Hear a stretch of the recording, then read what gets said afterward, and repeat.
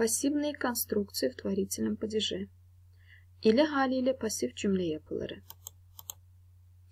Давайте для начала рассмотрим активные конструкции.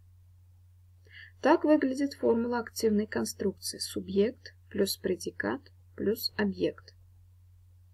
Önce aktif cümle yapılarını inceleyelim. Bunun için örneğe bakalım. Astronomy исследует kosmos. Gördüğünüz gibi bu cümlede astronomy özne, исследуют yüklem, kosmos nesne. Astronomlar uzayı araştırır. Pasif cümle olarak bu cümleyi görmek istiyor isek yine de örneğe bakalım. Kosmos исследуется астрономами. Yapı olarak, sıralık olarak e, cümle değişmedi ama kelimeler gramer formunu değiştirmiş oldu.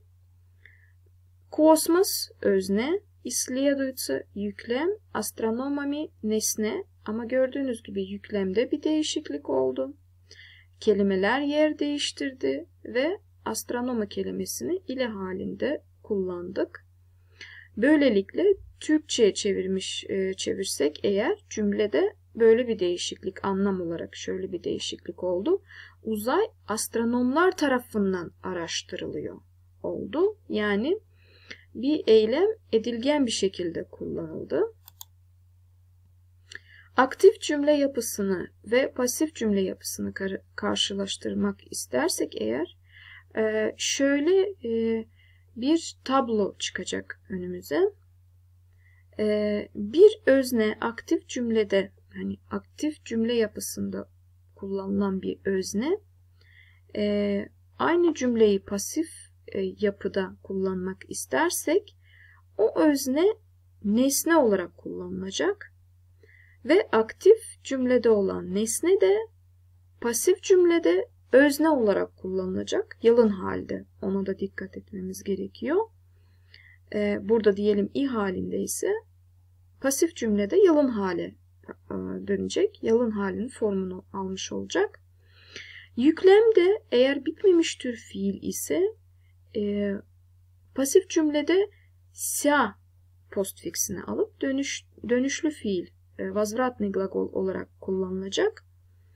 E, ve e, başka dikkat etmeniz gereken husus var. Bu da fiilin e, dönüşlü fiilin kullanım formu. Bu konuda e, bu kelime nesne olan kelime pasif cümlede cümlenin başına gelip özne olduktan sonra yine de bütün kurallar e, yani aynıdır. Burada da kural aynıdır. Yüklemi etkilemiş olacak. Ne şekilde? Sayı veya cins olarak fark etmez. Yani fiilinin çekimini özne belirlemiş olacak. Yani bunu unutmayalım. Burada mesela başka bir çekim ise yukarıda aşağıda başka olabilir. Neden? Çünkü nesne e, özne yerine geçmiş oldu ve başka bir özne oluşmuş oldu. Yani buna lütfen e, dikkat edelim. Mesela e, университет e, проверяет работы mesela bir cümle olarak düşünürsek e, pasif bu aynı cümleyi pasif cümle olarak oluşturmak istersek bu cümleden pasif cümle oluşturmak istersek e, работы buraya geçecek ve работы çoğul olduğu için ı ile bitiyor çoğuldur работы проверяются olacak gördüğünüz gibi çoğul olarak kullandım üniversite tam ile halde kullanmış oldu. Devam edelim. Ee, burada ise örnekleri e, göstereyim size. Aktif cümle yapıları ve pasif cümle yapıları ama e, bitmiştir fiillerle olan örneklerdir. E, настоящее время, şimdiki zamanda. Комиссия оценивает работу. Прошедшее время. Комиссия оценивала работу. Будущее время комиссия будет оценивать работу. Aynı cümleler pasif e, cümle yapısında kullanılıyor ise o zaman Yine de gördüğünüz gibi bir önceki anlatımda gördüğünüz gibi работа оценивается комиссией. Работа оценивалась комиссией. Работа будет оцениваться комиссией. Yine aynı şekilde активная конструкция с глаголом несовершенного вида. Университет проводит конгресс. Университет проводил конгресс. Университет будет проводить конгресс. Конгресс проводится университетом. Настоящее время. Конгресс проводился университетом. Прошедшее время. Конгресс будет проводиться университетом. Будущее время. Eğer aktif cümle yapısıyla pasif cümleyi burada da aynı şekilde e, karşılaştırdık.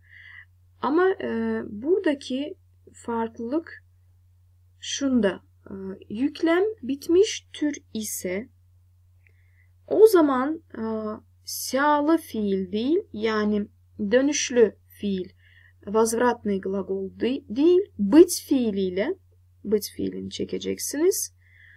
Ve e, yüklem yerine sıfat fiilin kısaltması gelecek. E, şimdiki örnekte göstereyim size. E, bu arada sadece gelecek ve geçmiş zaman, gelecek ve geçmiş zaman gördüğünüz gibi şimdiki zaman yok. Çünkü ne tür fiilden oluşmuş oluyor? Bitmiş tür fiilden tabii ki. Bitmiş tür fiillerinde bildiğiniz gibi şimdiki zaman yoktur. Настоящего времени у них нет. Подруга испечет торт. Торт будет испечен подругой.